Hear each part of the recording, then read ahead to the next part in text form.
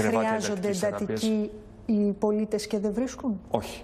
Θέλω να είμαι απολύτως σαφής. Υπάρχει πράγματι μία αναμονή μικρή, όχι από συμπολίτες μας οι οποίοι δεν μπορούν να διασωληνωθούν, όπως είπατε, από διασωληνωμένου συμπολίτες μας οι οποίοι δεν είναι αυτή τη στιγμή σε μεθ.